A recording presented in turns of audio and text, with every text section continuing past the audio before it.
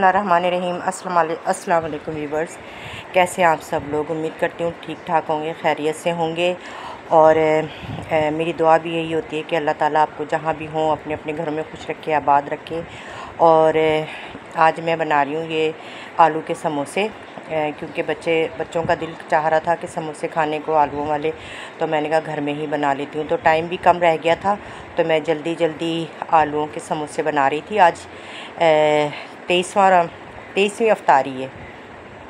यानी कि तेईस रोज़े हो चुके हैं और मैं जल्दी जल्दी कर रही हूँ। टाइम भी थोड़ा कम है तो मैं यहाँ पर आलूओं के समोसे बना रही हूँ, जो कि सभी को पता होगा कि किस तरह बनते हैं। तो यहाँ पर मैं आलूओं के समोसे बनाकर यहाँ पर मेरी बेटी कह रही है मम्मा आप, आप आगे तो हाथ कर लें। मेरा हाथ पीछे हो गया था मोबाइल मोबाइल से। तो उसने पकड़ के आगे किया है।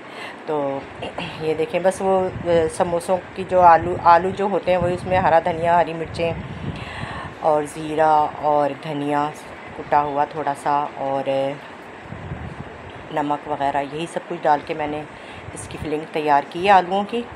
और यहाँ पर मैं शेप देकर समोसों को रखती जा रही हूँ, जिस इसमें उबाल बॉईल किए थे मैंने आलू, उसमें ही मैंने मसाला बना के रखा हुआ है और जल्दी जल्दी, जगह भी नहीं है काउंटर पे, क्योंकि दूसरी जानिब मेरी बहू वो बना रही है आलूओं के पकौड़े तो काउंटर भरा हुआ है बिल्कुल तो बस जल्दी जल्दी कर रही हूँ मैं भी ये जल्दी से हो जाए और हम लोग जल्दी से अफ्तारी कर लें। टाइम क्योंकि होने वाला है बिल्कुल। तो यहाँ पर ये मैं बना रही हूँ समोसे। तो सभी को आते होंगे। ज़ाहिर सी बातें इतने कॉमन है ये तो। इसमें कोई वो रूल नहीं है इतना। आर्ट एंड ये देखिए। और यहाँ पर ये बहू मेरी वो बना रही आलूओं के पकौड़े। तो यहाँ पर वो देखें आप। डर डर के रख रही है आलू के पकौड़े डाल रही है आलू। तो आप लोग बताएँ सब कैसे हैं और आप लोगों के रोज़े कैसे जा रहे हैं? गर्मी तो आजकल ज़्यादा हो रही है तो लेकिन रोज़े रखने का बड़ा मज़ा आ रहा है तेज़ गर्मी में, क्योंकि हल्ला खुशी जाता, हो जाता है तो यही तो रोज़े होते हैं जो कि बहुत ही अल्लाह को प्यारे होते हैं। और आप लोग यकीनन रख रहे होंगे सब रोज़े, हम लोगों के घर में तो सबके जा रहे हैं पूरे, सिर्फ़ हमारी छोटी बेटी है। वो छोड़ छोड़ के हम उसको रखवा रहे हैं। वो भी कहती है कि मैंने सब रोज़, पूरे रोज़े रखने हैं, लेकिन उसको हमें छुड़वाने पड़ते हैं, क्योंकि वो स्कूल भी जाती है, मदरसे भी जाती है। इस वजह से, और यहाँ हमारे पकोड़े भी तकरीबन मुकम्मल होने वाले हैं। तो ये देखें समोसे वहाँ बना रही हूँ मैं जल्द से, जल्दी से फ्राई कर रही हूँ।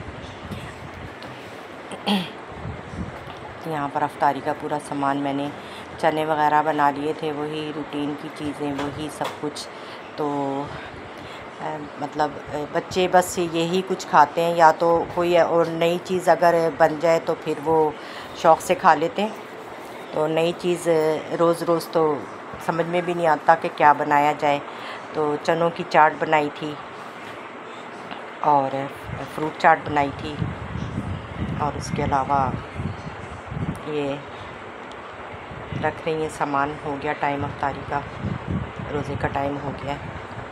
तो यहाँ पर ये सब सामान रख रही हैं। जो कुछ भी है रूटीन का, वही सब कुछ। और यहाँ मेरे शोहर भी वो अपने दिखा रहे हैं अपने भांजों को कि भाई देखो, हम लोगों का रोज़े का टाइम हो गया है और हम लोग अब रोज़ा अफ्तार करने वाले हैं तो वो दिखा रहे हैं। तो जी, ये देखें। ये सारा सामान, शरबत वगैरह जो भी बनाया था, वो सब रख दिया है और हो गया है अफ्तारी का मुकम्मल टाइम सब बैठ गए हैं, लेकिन शूट नहीं किया सबको, किसी को।